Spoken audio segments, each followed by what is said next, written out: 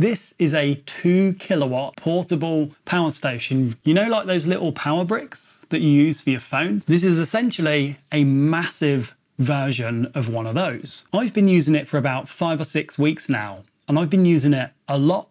And I wanted to share my thoughts on like what this is good for, a couple of downsides that I've found since I've been using it. Essentially, it is a two kilowatt, 2000 watt hour battery with loads of outputs and a few different inputs.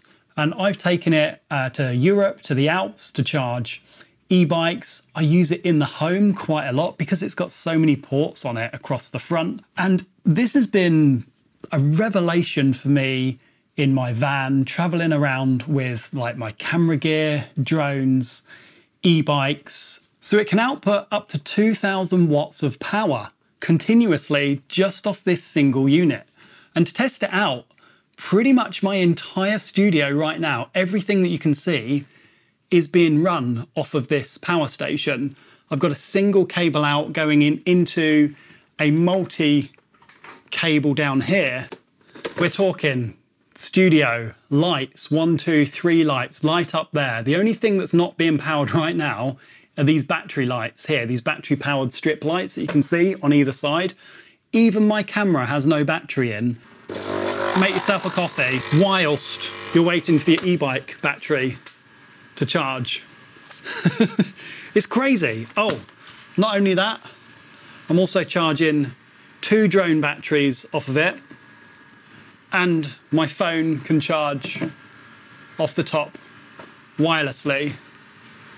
So, cheers.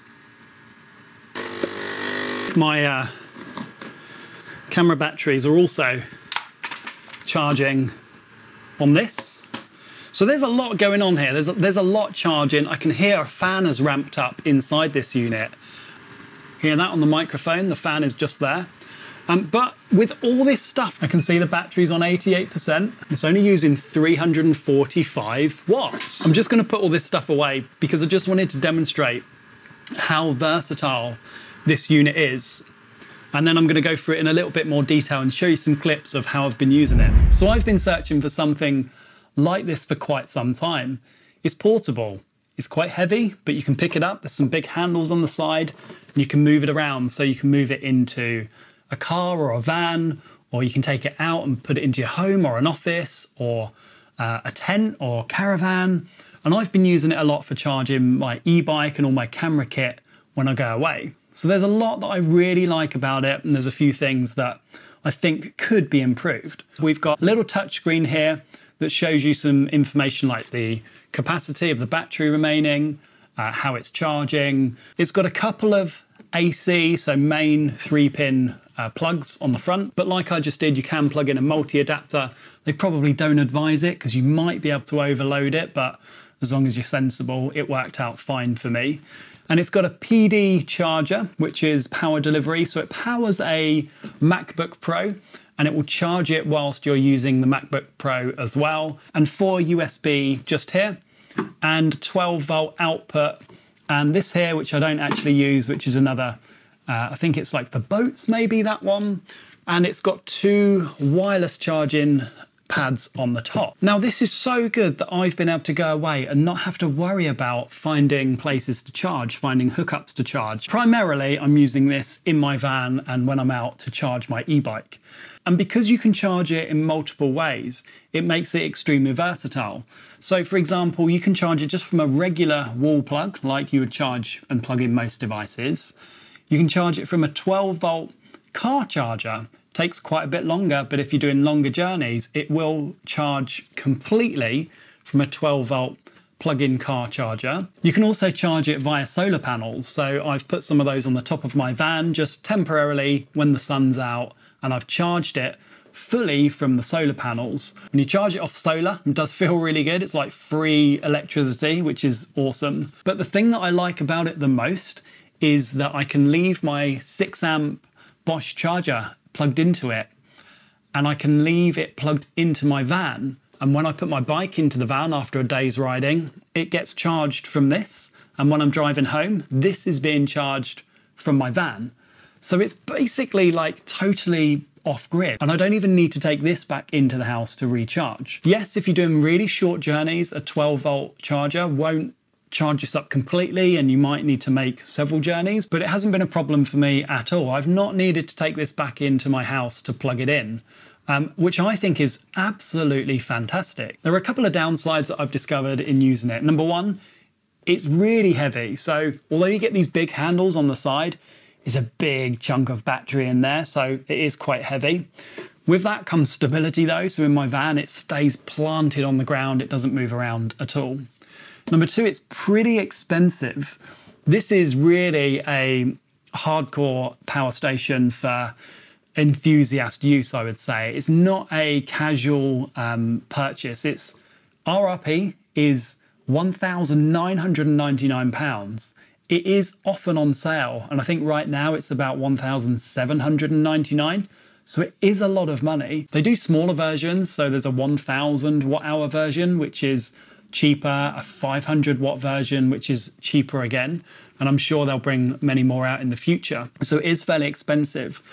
But for me, it's been a revelation to use. It's really transformed how I charge my bikes. And again, right now, my pretty much my entire setup here is being powered off of this right now.